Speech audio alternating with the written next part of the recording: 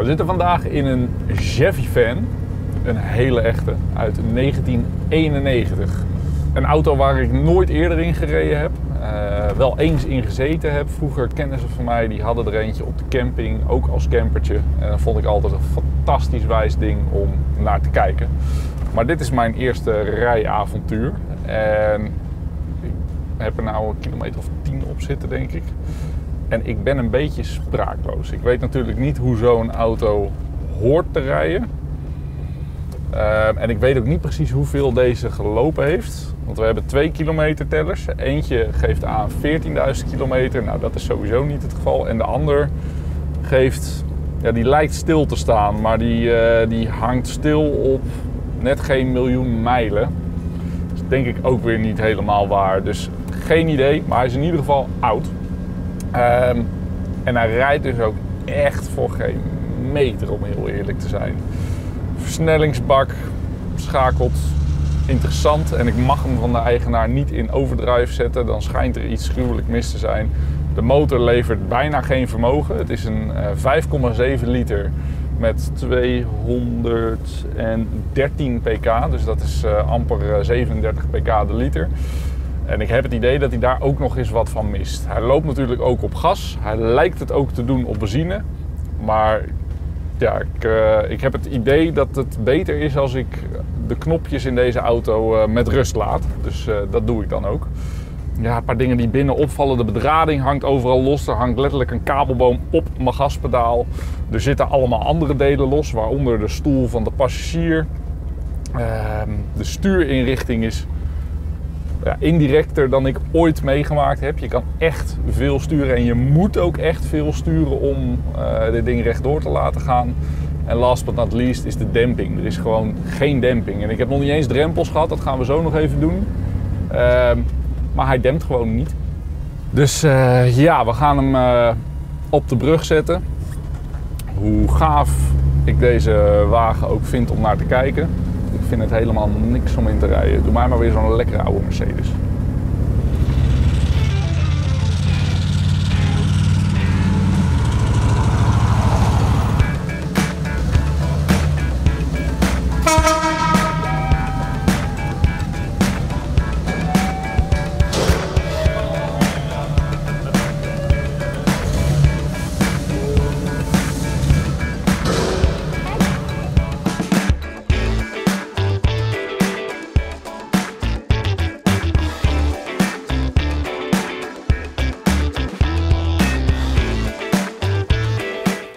Ondertussen aanbeland onder de motorkap van de Chevy.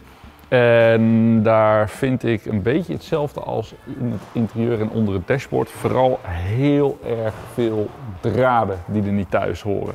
Dat is een beetje het thema van, uh, van deze auto. En wat ook wel bijzonder is om te zien, is dat de ellende op dat gebied eigenlijk al begint bij de accu. De massakabel die zit al niet vast in de klem. Um, en er is zelfs een stukje uit de accu weggeslepen om dit passend te maken. En vanaf daar wordt het eigenlijk alleen maar erger en erger. Ik snap ook dat dit een lastig project is om aan te beginnen, want ik denk echt niet dat je weet waar, uh, waar dit ophoudt. Want het zit door de hele camper verspreid als een soort ziekte, kan je wel zeggen. Andere dingen die opvallen is bijvoorbeeld de staat van de remvloeistof. Nou, dat is bijna jus geworden die uh, bij het kerstdiner uh, mooi zou passen. Um, er mist een stuk uit de radiateurkap om de ventilatorkap moet ik eigenlijk zeggen, om plaats te maken voor wat ingebouwde slangen en dergelijke. En ook wat verder achter bij de motor ligt bijvoorbeeld de slang van de karterventilatie los. Uh, dat zijn zaken die opvallen. Ook het koelwaterniveau staat helemaal op minimum. Er hangen hier wat, ja, wat pompjes lijken voor de ruitersproeier, um, maar die werkt ook niet en daar hangen ook slangetjes los. En wat ook opvalt is dat er bij de chassisbalk ja, daar lijkt vervorming uh, plaatsgevonden te hebben. Maar daar zie ik ook sporen van laswerk en daar lag ook een laagje plamuur bovenop. Dus daar, uh, daar lijkt een keer wat gebeurd te zijn in het verleden.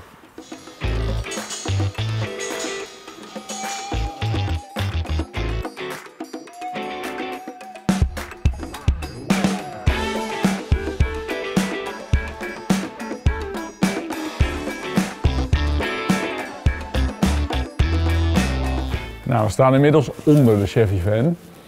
En ik ben gestopt met schrijven en gestopt met onthouden, want het is te veel. Ik kan 30 minuten naar één deel van de onderkant kijken en dan elke minuut iets nieuws vinden waar, uh, wat mijn verbazing uh, wekt. Dus ik ga van voor naar achter uh, de ronde doorlopen en gewoon dingetjes aanwijzen die we gezien hebben. Om te beginnen de voorwielophanging. Los van het feit dat alle rubbers ja, in matige staat zijn, zit er een achteraf ingebouwde stabilisatorstang op. Het lijkt geen origineel onderdeel te zijn om er wat meer stabiliteit te geven. En hetzelfde geldt voor hulpluchtvering. Er zitten luchtbalgen tussen de originele veren geplaatst. Um, wat daarbij wel opvalt is dat die leiding heel erg laag hangt en ook tegen allemaal bewegende delen aangetierept zit, waardoor die ja, lekker door aan het schuren is. Verder zien we ja, in de stuurinrichting bijna elk hoesje wat kapot is. De motor lekt stevig olie, motorrubbers zijn uitgedroogd en ingezakt. Nou, verder naar de achterkant van de motor valt op dat daar eigenlijk allemaal kabels en slangen en leidingen niet vastzitten. Er zitten wel steuntjes aan, maar er zitten geen bouten in die steuntjes om dat aan het motorblok vast te maken. Daarnaast valt op, het viel me tijdens het rijden al op dat de motor heel weinig vermogen heeft en ook niet op alle cilinders lijkt te lopen. Nou, een van de bougiekabels die ligt tegen het uitlaatspruitstuk aan en die lijkt ook al doorgesmolten en tegen dat spruitstuk aan te vonken. Uh, ja, dat verklaart dus waarom die één cilinder niet meedoet. Uh, als we wat verder naar achter gaan, dan zien we een hoop parkers, draden en niet vastzittende delen. Wat we eigenlijk in de rest van de camper ook al gezien hebben. Een uitlaat die in wat slechtere staat is. Dingen als bevestiging van de watertank die eigenlijk gewoon niet deugelijk zijn. Uh, nog verder naar achter zien we uh, ja, in ieder geval deels een verklaring voor het slechte rijgedrag van de achteras. vooras is oké, maar vooral de achterkant van de camper dempte echt niet lekker en beukte over drempels heen. Daar zien we ook uh, achteraf geïnstalleerde luchtvering en hulpveren. Maar die luchtvering, ja, daar zit bijna geen druk in. Uh, dus hij ligt alsnog behoorlijk op de eindaanslag. Maar wat ook opvalt is hoe dit spul gemonteerd is. De bouten zitten er scheef in, niet in of zijn afgebroken. Um, en hetzelfde geldt eigenlijk voor de hulpbladveer. Ook een niet origineel deel. En aan de rechterachterkant schuurt die extra bladveer tegen de ja, bladveerschommel aan. Um, ander dingetje wat wel origineel is en apart is om te zien, ik kende deze constructie natuurlijk niet, is hoe de schokdempers georiënteerd zijn aan de achteras. Aan de rechterkant steekt hij namelijk vooruit en aan de andere kant steekt hij achteruit. Ja, wat hebben we nog meer? We hebben een hoop onderdelen die niet meer gebruikt worden, maar die er nog wel hangen. En die bouten of de manier waarop het gemonteerd is, wat we bij andere delen gezien hebben, zien we ook bij de trekhaak. Ook daar zitten de bouten er scheef in of niet goed in. Um, belangrijk puntje wat ik aan de voorkant nog vergeten ben, is dat daar, wat we van boven al een beetje dachten te zien, duidelijk een oude schade zit aan de chassisbalk. Daar is van alles geplamuurd en er zit ook een gat in de onderkant van die balk.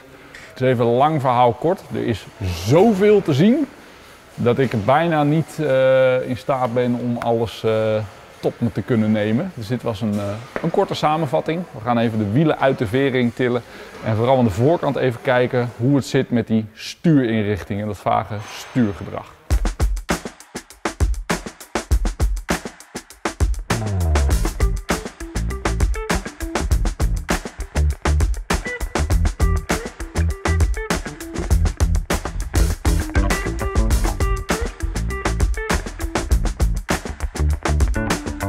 Ja, we zijn bij de voorwiel- en achterwielophanging aanbeland. Uh, in een poging te boven of naar boven te krijgen waar dat weken stuurgevoel vandaan komt. Nou, nogmaals, dit was mijn eerste keer in zo'n auto, dus ik heb geen idee in hoeverre het hoort.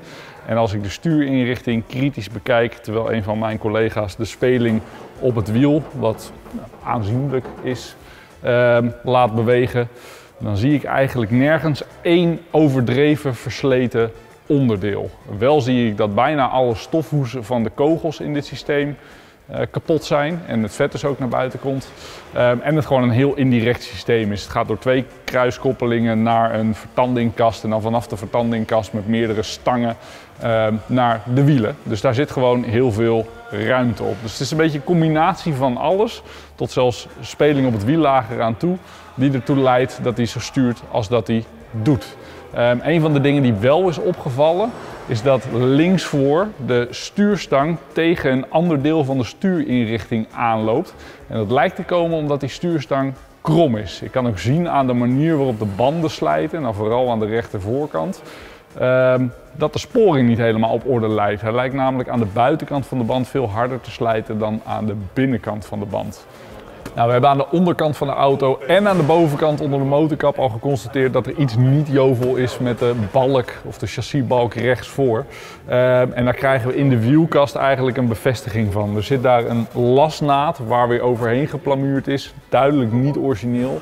Dus de rechtervoorkant ja, van de carrosserie of uh, de bumperdrager en dergelijke, die lijkt uh, vervangen te zijn.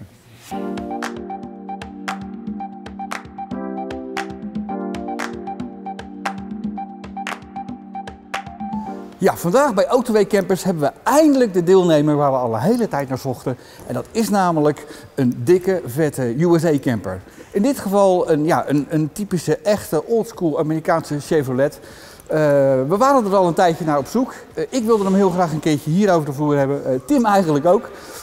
maar deze deelnemer die is, ja, die is van Paul. En van Paul Wolfhek. Nou, ja, dat klopt. Paul, hoe kom jij aan deze mooie camper? Nou, we, zijn, we waren op zoek naar een bus. Uh, in eerste instantie wilden we een 508 of een 608 zo'n Mercedes. Ja, zo'n echte oude krakersbus. oude krakersbus, ja. daar waren we eigenlijk naar op zoek. Uh, wel een paar gevonden, maar toch elke keer net niet helemaal wat we zochten. En toen zei mijn vrouw, joh, we hebben al een paar Chevy Vans gehad. Ik zou wel eigenlijk graag een camper terug willen als Chevy Van. Dus dit is, dit is niet de eerste Amerikaanse bus die je had, hè? Nee, nee, de vijfde. Ja, maar wat is dat dan toch? Hè? Want die andere campers waar je naar op zoek was, ja, dat, dat waren van die oude Mercedes'en. Ja.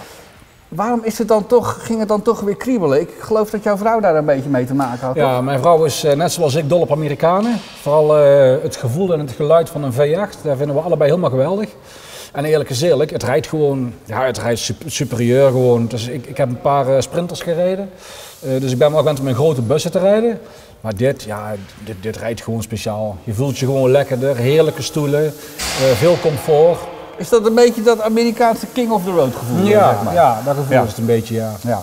Maar toen je hem hebt gekocht, was hij nog niet zo in de staat zoals hij dan nu is. Nee. De, de, de, buitenkant volgens mij wel, die is een beetje hetzelfde gebleven. Ja. ja. Maar vooral aan de binnenkant ben je flink losgegaan. Ja, wat, wat, klopt. Wat heb je zo al gedaan? Uh, er zaten heel veel kastjes in, vooral boven het bed. Uh, er was een halve discotheek ingebouwd, acht of tien, acht geloof ik, hele grote luidsprekers achterin, heel veel verlichting.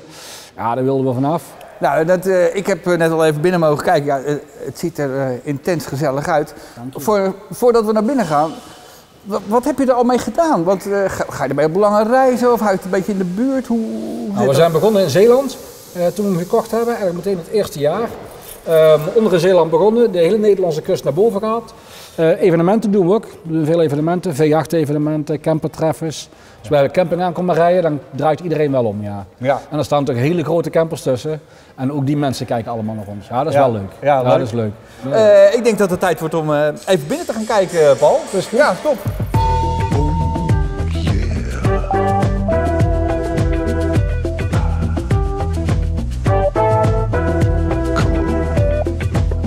Nou, terwijl onze cameraman zich in alle bochten wringt om een goed plekje te vinden, zo uh, lekker bezig, Jeroen. Ja, zitten wij in jouw mooie camper, uh, Paul. Het is, wel, uh, het, is, het is wel een gezellige inrichting. Ja, de gezelligheid daar houden wij wel van. Ja. Vertel dit, want je hebt het, heb je het binnen nog ook geschilderd? Ja. Of wat heb je allemaal binnen gedaan? Alles was eigenlijk deze kleur van deze tafel. Dus dat, dat donkere hout.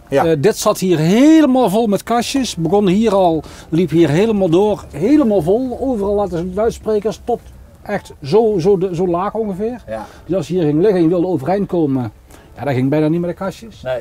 Uh, dus om te beginnen hebben we alle kastjes hebben we uitgesloopt. Alles eruit, de bekabeling die erin zat eruit gehaald, alle luidsprekers eruit. En we zijn het een beetje af gaan werken. En toen zijn we het gaan schilderen in een lichtere kleur. Ja. ja wij vinden dit, dit lichtere gewoon, ja, dat vinden wij fijner. Dit is een hartstikke gezellige kleur. Eh, er, zit, er zat al een goede koelkast in? Of heb Ja, je die ja zelf ook nee, in zat er al in. Zat er al in. Oké, je hebt ook een boilertje, je hebt gewoon Ja. stromend warm water. Ja. Eh, de buitendouche die trek je er daar aan de achterkant uit, hè, geloof ik. Ja, ja. Je hebt ook gekozen voor een vast bed. Ja. Ja. Was dat bewust? Ja, wij wilden, ehm, we hebben natuurlijk al eerder van die bussen gehad waar de bank naar achteren kan. Ja. En dan moet je van je bank moet je een bed maken. En dan ga je overdag, maak je er weer een bank van, omdat je ergens wil kunnen zitten, zeg maar. En daar willen wij vanaf. Ja. Op het moment dat je van jouw banken een bed gaat maken, dat doen we twee keer. En vervolgens blijft die bank, dat, dat blijft gewoon een bed. En dat wordt Ja. nooit, meer een bank. Maar goed, nou ben jij, je, je, je bent ook niet super lang, maar zo'n bed in de breedte, dat is natuurlijk best, krap- best krap. Past dat? Past Ja. dat goed? Ja, dat past goed. Jij, jij Ik- past er precies tussen, zeg maar. ja, het scheelt eigenlijk net 3 centimeter. Ja. Ik ben eigenlijk 3 centimeter te lang. Maar ik lig een klein beetje scheef. En ik lig thuis ook altijd op- je knieën. Dus eh, Ja, je moet het ook gewoon een beetje romantisch maken. Ja, precies, Zo, ja. zo werkt het dan ook wel ja, weer. inderdaad. Hey, eh, en dat tafeltje, dat, dat zat er ook al in op deze manier? Eh, ja, Oké. Ja. Nou ja, goed. En je kunt natuurlijk met die draaistoelen, dat overigens echt van die schitterende Mooi, hè? mega voor thuis zijn. ja. Maar met die draaistoelen en die bankje kun je toch verder helemaal prima zitten met z'n Ja, tweeën. ja, ik zeg al, we zijn met z'n tweeën. Eh, Ja. We hoeven ook alleen maar aan ons tweetjes te denken. Ja. En ja, wij, wij vinden dit heerlijk. Oké. Lekker op een bankje, tafeltje tussen de stoelen in, die stoel gedraaid. Ja. Ja, deze televisie kan ik omdraaien. Ja. Dus dat is eh, nee, hartstikke fijn. En we koken hier op een driepits gasstijl. Dat is echt gewoon volledig koken. Ja, wat je zegt, warm en koud water. De boiler werkt perfect. Ja, er zit hier nog een toiletje onderin voor Ja. de gevallen van nood, zullen we Ja. maar zeggen. Ja. Hey, welke, welke reis wil jij nou nog graag een keertje maken met deze camper? We zouden eigenlijk graag de Europese kust helemaal willen doen. Ja. Dus dan beginnen we of boven Nederland of in België, halverwege. En dan Frankrijk, Portugal, heel de kust. Totdat we ergens in Kroatië uitkomen. En dan langzaamaan weer terugrijden. Nou ja, rest mij niets anders dan jou nog eh, heel veel eh, lekkere kilometers eh, te wensen met deze camper. Dankjewel. En eh, ja, wie weet zien we elkaar. Ja, je weet maar nooit. Ja, hartstikke goed, dankjewel. Nou Tim, we hebben eindelijk een Chevy op de brug. Eindelijk een Chevy op ja, de brug. het is toch nog gelukt hè? ja. Ja, en eh, nou ja goed, dan is mijn volgende vraag heel hoopvol. Is het een beetje wat je ervan had verwacht? Of is hij toch, zitten er toch wat meer dingen aan? eh, Ik weet niet helemaal wat ik ervan verwacht had. Maar het rijdt in ieder geval eh, ja, niet beter dan andere eh, campers van deze leeftijd waar we ondertussen mee gereden hebben. En ik weet niet of dat aan dit exemplaar ligt of dat het aan de leeftijd ehm, en eh, ja, de defecten die eraan zitten ligt. Nou, wellicht moeten we er nog één proberen zodat we een beetje beter vergelijkingsmateriaal hebben. Ja, ja, je had eh, eh, eh, helemaal zoals Tim dat doet en toch wel weer een lijstje met dingen. Ik heb een aardige lijst. Ja. La- laten we het even over de hoogtepunten, de dieptepunten, de hoogtepunten hebben. Ja, ik denk dat het hoofdwoord bij deze camper elektronica is. Overal waar je kijkt lopen draden die er niet horen, die nergens heen gaan, die tegen andere dingen aansluiten, loszitten of zelfs tegen een warm uitlaatspruitstuk aanhangen, noem maar op. Dus ik denk als dat gefatsoeneerd wordt, dat je al een heel eind eh, eh, dichter de goede richting in bent. Ja. En wat we ook hebben gezien, dat vind ik dan toch ook wel weer mooi van zo'n camper, van, van, van die leeftijd, is niet al te veel roest hè, aan de onderkant. Nee, dat lijkt iets mee te vallen inderdaad. Ja, ja. Ja. dat is wel eh, benoemenswaardig, zeker. Ja. Nou, met dit eh, toch wel positieve puntje gaan we er gewoon uit. Ik zeg, ik ga voor de volgende keer toch misschien nog een keer een Amerikaan. Ik ben heel benieuwd. Ja. Hey, bedankt weer Tim. Graag gedaan.